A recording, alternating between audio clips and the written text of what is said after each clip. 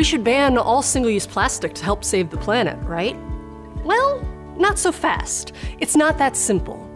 We absolutely need to stop the environmental damage caused by single use plastics. But we need to step back and think about the potential consequences of any proposed solutions to the single use plastic problem.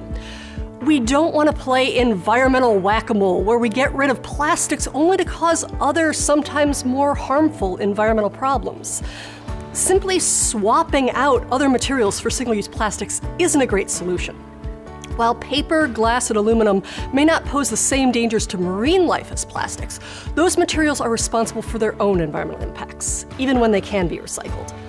So while we can use paper bags instead of plastic, we're just changing the type of environmental impact we're creating.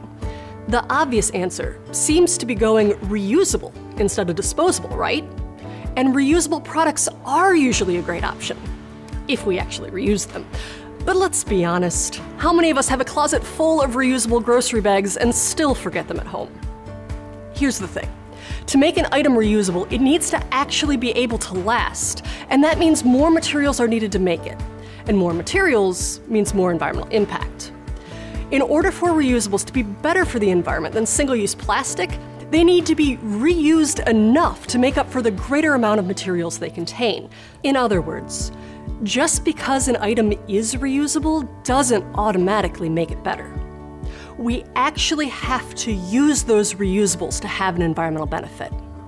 You may have already heard that reusable grocery bags need to be reused dozens or even hundreds of times to have better environmental performance than single use plastic grocery bags. That idea applies to other reusable items too. Our research has shown that reusable metal straws and those fancy reusable coffee mugs need to be reused over 200 times before they're better than their single-use equivalents. Reusables don't have any environmental benefit if we only reuse them a couple of times before forgetting about them and getting another one. As we try to reduce the environmental impacts of single-use plastics, simply shifting the type of disposable material or creating a system where reusables are treated as semi-disposable really are not good options.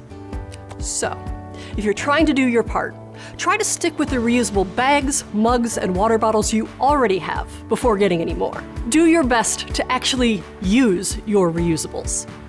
And if you happen to forget them at home, it's likely better to use a single use option today, and remember to bring the one you already have tomorrow.